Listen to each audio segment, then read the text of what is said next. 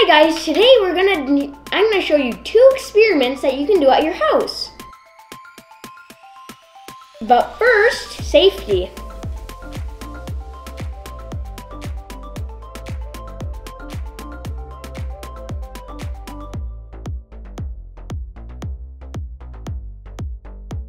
So today we're gonna do bubbles inside bubbles. First, you need water. Now we need one tablespoon of sugar.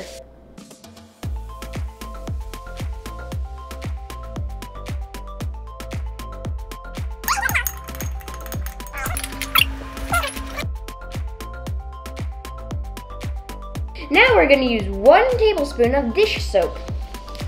Right.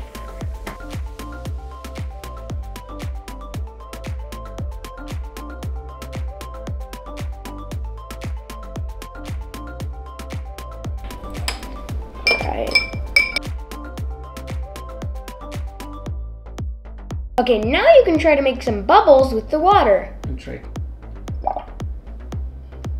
Okay, just remember don't drink the water.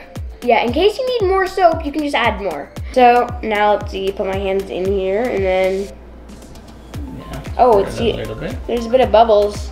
This is so cool. The first thing you do is put this in and then you blow in, uh, out, I mean not in, and then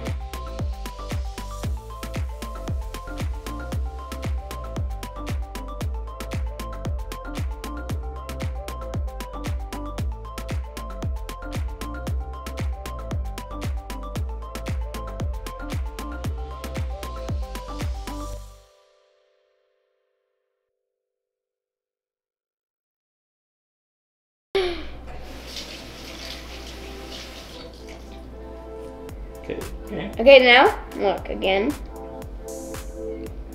Just put it in. Yeah. So today I'm gonna show you how to make your own lava lamp. First, you need some water. Now you need some food coloring. So let's see, what color would I want to do? Uh, I'll probably do green, blue actually. Um, so green. I'm gonna put green here and blue here. I need to put this in. There, that's good.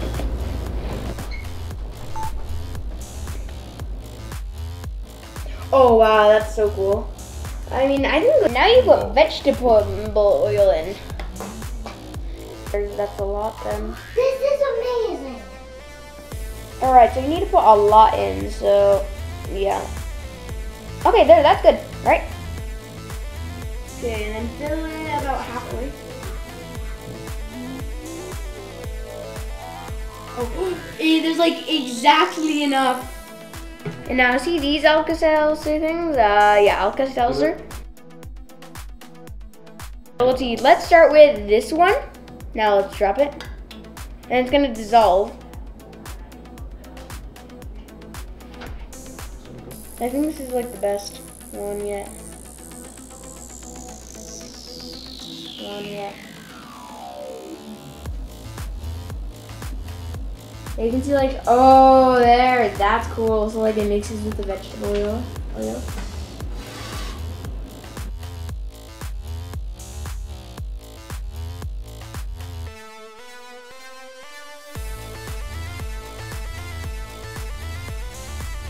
So just remember to, um, if you want it to look good, uh, don't put too much color like we did because it's just brown now.